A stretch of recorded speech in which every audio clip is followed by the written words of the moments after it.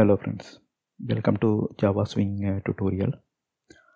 In the last video, we saw about JList and we created the JList using the uh, array. In the previous video, the JList is a single select uh, JList. That means user can select only one item from the list. Now we will uh, change that JList as a multi-select list. So on the left hand side picture, if you see, we selected multiple item from the list. Only two fruit names, banana and lemon, um, that is not selected in this list. Except those two, all other list items are selected.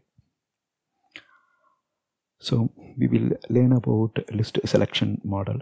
Then we will learn set selection mode after that, we will then get selected values list.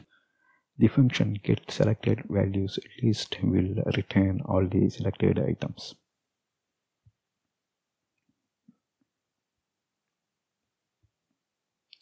So here are the prerequisites.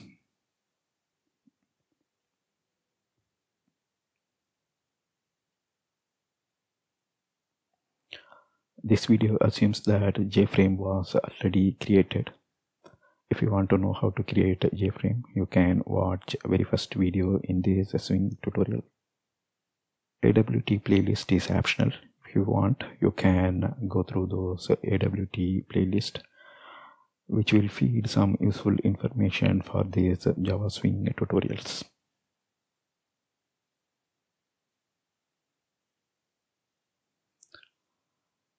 So this is the slide from our previous video.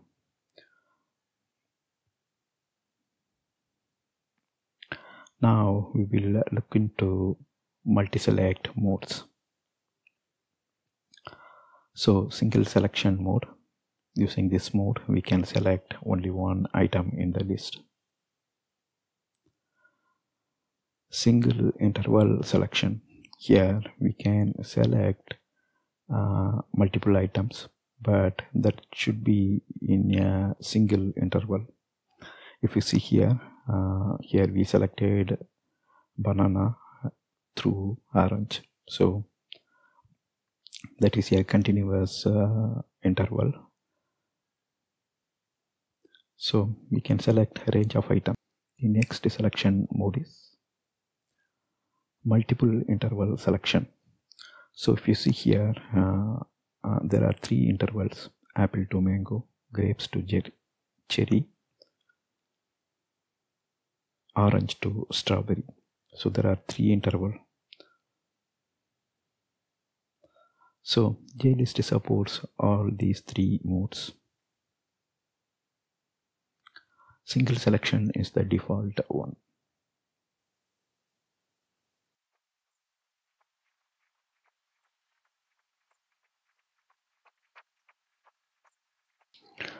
so the function name is simple. Set selection mode.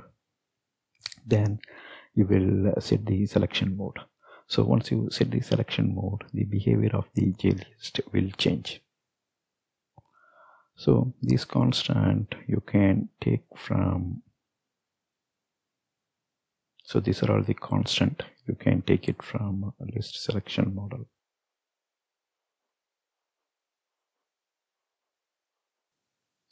so constant so from this list selection model you can select any of these uh, constant to change the behavior of the JList.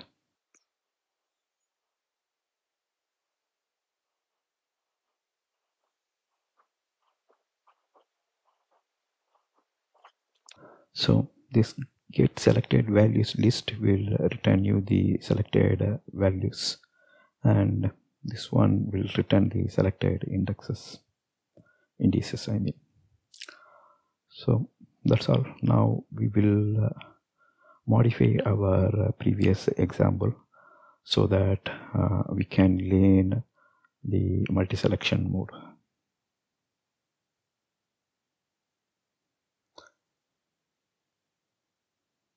Now let's go to eclipse uh, demo okay let me open the java oxygen. I mean the eclipse oxygen. That's the ui we are using.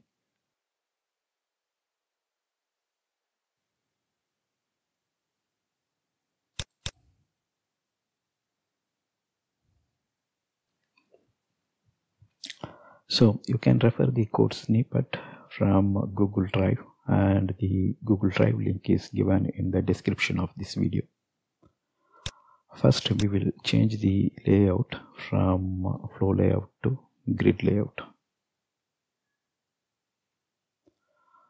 So if you see here we are using grid layout of 2 comma 1 that means 2 row 1 column.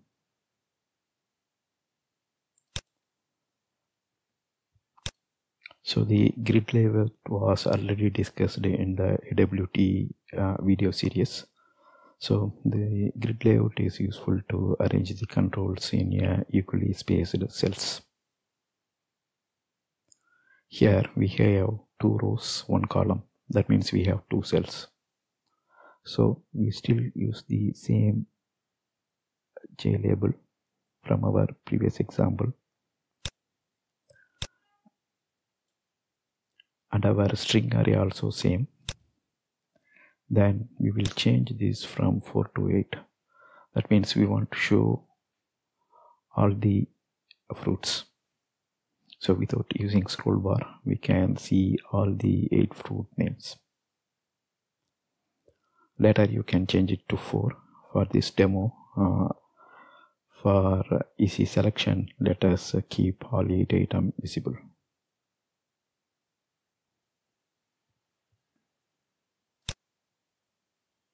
no change in uh, section 5 we still use the same J scroll pane. And we still add the uh, scroll pane as well as the label to the content pane. So this event is not required.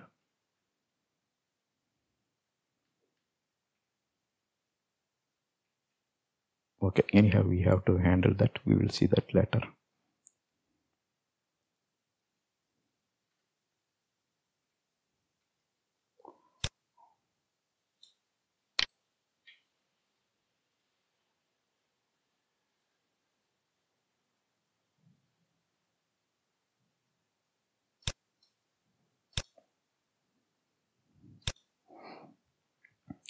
if you see here JList this is our JList list fruit is the reference.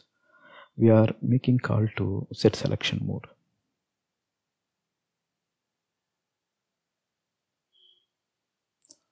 Let us import list selection model from javax.swing package.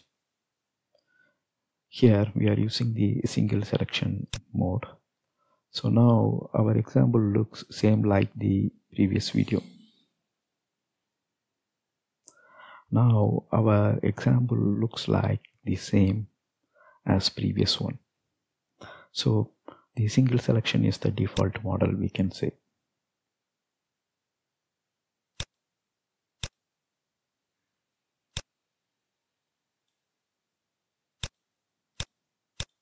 If you see we can select only one item. Now we will change it to single selection interval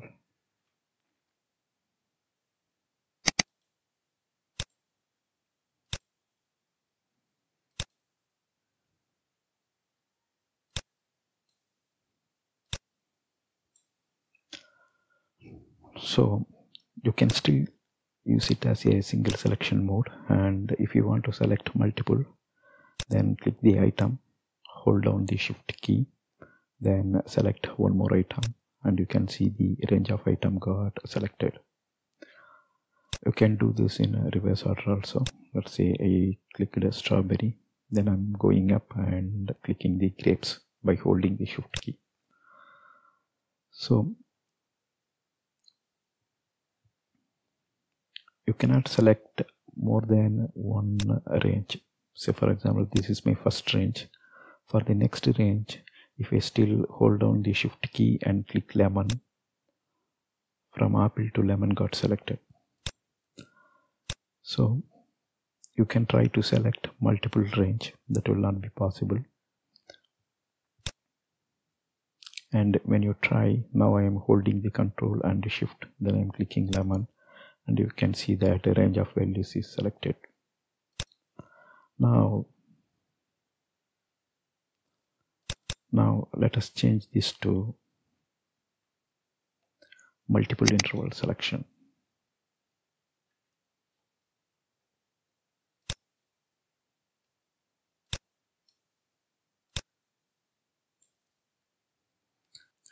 So first I'm selecting apple holding the shift key pressing banana.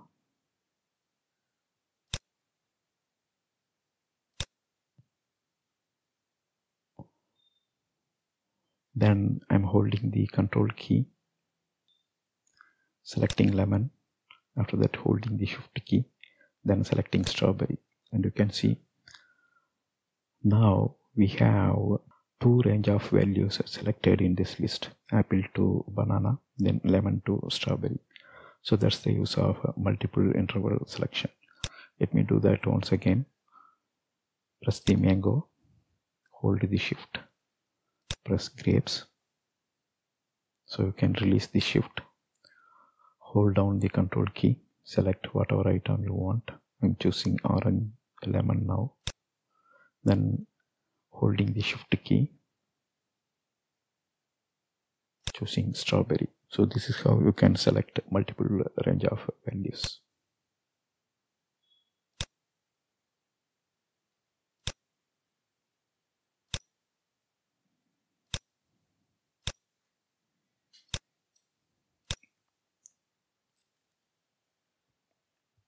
In the last video we saw how to implement the listener so the same way the listener is added using the anonymous inner class then in the value changed. So this list you have to uh, import from util not from awt so this one is the component. This one is the collection. So import it from java util. Alright now let us look at the value changed. So first we are using list fruits get selected values list. So this will return list of a string. We know that our list is holding the array of string. So that's why we are using list of string. Then we are forming a for loop. So this is simply a collection. So we are iterating over the string collection.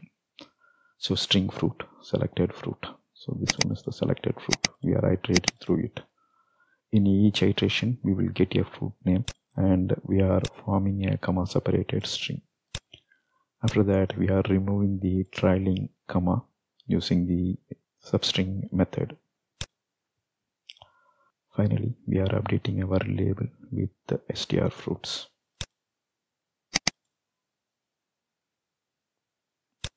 Alright now we will run this demo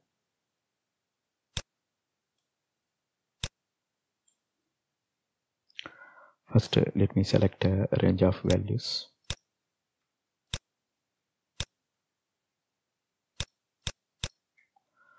So in the list you can see that the selected values are displayed. So let me remove orange and you can see the orange will get removed from the list and all other selected values are shown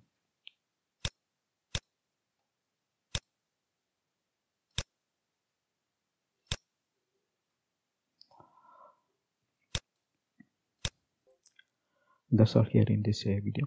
Thank you for watching. Bye